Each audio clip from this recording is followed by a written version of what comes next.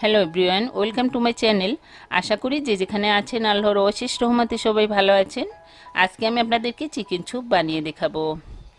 এই chicken soup খুবই সুস্বাদু এবং হেলদি আশা করি আজকের এই চিকেন স্যুপ রেসিপিটি আপনাদের কাছে অনেক ভালো লাগবে। তাহলে চলুন দেখে নেওয়া যাক কীভাবে আমরা এই মজাদার চিকেন স্যুপ খুব সহজে বাসায় বসে বানিয়ে নিতে পারি। চিকেন স্যুপ বানাবার জন্য প্রথমে এখানে আমি দুটি বাটি নিয়েছি। একটির ভিতরে আমি দিয়ে দিব দুই টেবিল চামচ পরিমাণ কর্নফ্লাওয়ার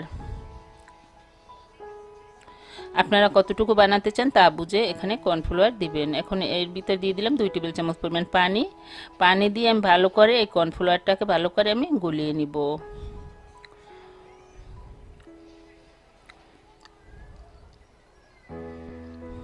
অন্য বাটিতে নিব আমি একটি মুরগির ডিম।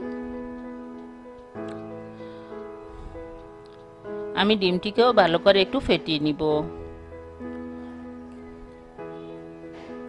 একটু সুন্দর করে ফেটিয়ে নিতে হবে।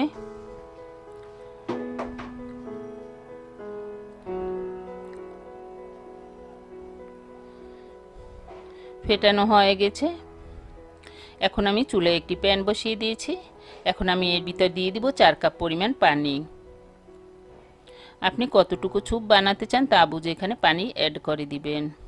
এখন এর ভিতর দিয়ে দিব আমি দুই টুকরা চিকেন। আমি চিকেনের বুকের অংশ নিয়েছি। আমি এখানে দেশি মুরগির বুকের অংশ নিয়েছি। আপনারা চাইলে ব্রয়লার কিংবা অন্য কোনো মুরগি নিতে পারেন। এখন এর ভিতর লবণ দিয়ে দিব। লবণ দিয়ে আমি ডাকনা দিয়ে প্রায় দশ মিনিটের মতো ডেকে রাখব।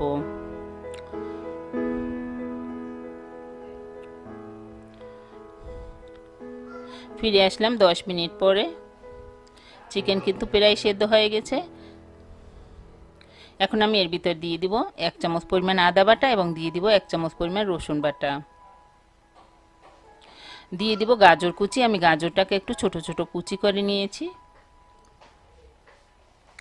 আপনারা যদি সবজি দিতে চান, তাহলে আপনাদের পছন্দ মতো সবজি এখানে দিতে পারেন।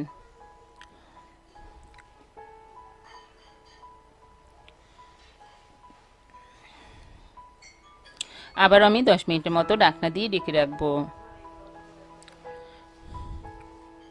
ফিরে আসলাম দশ মিনিট পরে চিকেন আমার প্রায় সেদ্ধ হয়ে গেছে। বিশ মিনিটের ভিতরে কিন্তু চিকেনটা পুরোপুরি সেদ্ধ হয়েছে চিকেন আমি এখন উঠিয়ে নিব।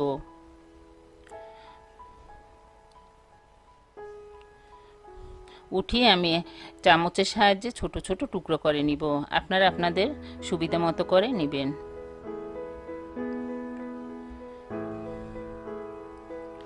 দেখতেই পাচ্ছেন, আমি চিকেনগুলো কিন্তু ছোট ছোট টুকরো করে নিয়েছি। আপনার চাইলে চাকুর সাহায্যেও কিন্তু এভাবে করে কেটে নিতে পারেন।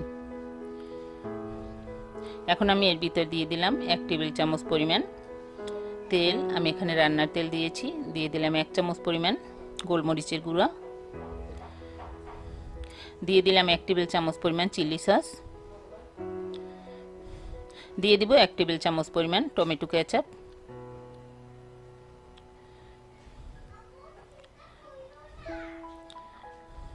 আপনারা চাইলে এখানে সাদা গোলমরিচের গুঁড়ো ব্যবহার করতে পারেন।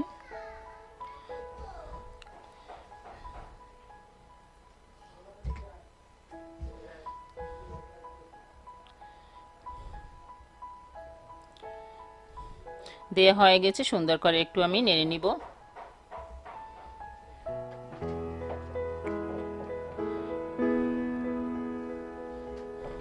এখন আমি যে কর্নফ্লাওয়ার গুলে রেখেছিলাম, সেই কর্নফ্লাওয়ারটা আমি এখন দিয়ে দিব। দিয়ে ভালো করে নেড়ে নিতে হবে যেন তলা পেকে না থাকে। আর কর্নফ্লাওয়ার অবশ্যই কিন্তু প্রথমে গুলে নেবেন, তা না হলে কিন্তু দলা পেকে থাকে।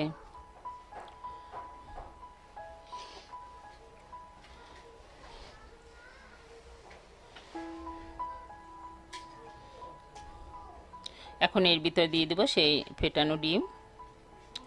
ডিমটা একটু উপর থেকে দিতে হবে এবং অনবরত নেড়ে দিতে হবে যখন ডিমটা দিবেন।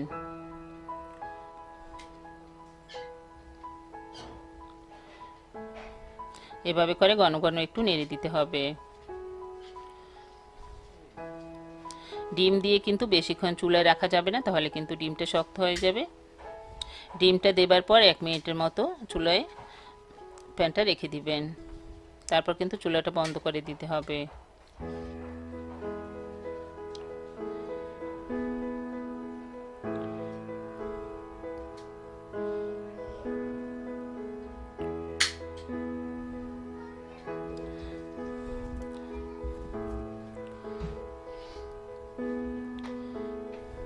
এখন এর ভিতর দিয়ে দিব দুই টুকরা লেবুর রস।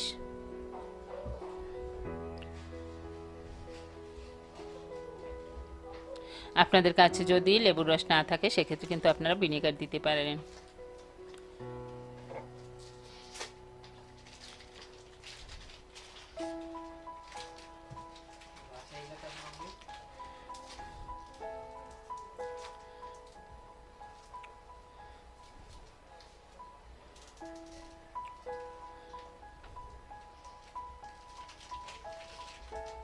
এখন আমি এর ভিতর দিয়ে দিলাম এক টেবিল চামচ পরিমাণ ছয়া সস। প্রথমে আমি ছয়া সস দিতে ভুলে গিয়েছিলাম, তাই আমি এখন এর ভিতর দিয়ে দিলাম।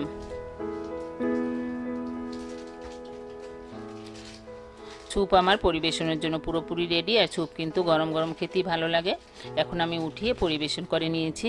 আশা করি আজকের এই চিকেন স্যুপ রেসিপিটি আপনাদের কাছে অনেক ভালো লেগেছে। যদি ভালো লেগে থাকে তাহলে অবশ্যই আমার চ্যানেলটি সাবস্ক্রাইব করবেন এবং পাশে থাকা বেলাইকনটি ক্লিক করে দিবেন। যাতে কোনো রেসিপি আপলোড দিলে সঙ্গে সঙ্গে পৌঁছে যায় আপনাদের কাছে। সবাই ভালো থাকবেন, নিরাপদে থাকবেন। আমাদের জন্য দোয়া করবেন। আজ আর নয় আবার আসব নতুন কোনো রেসিপি নিয়ে। আল্লাহ হাফেজ।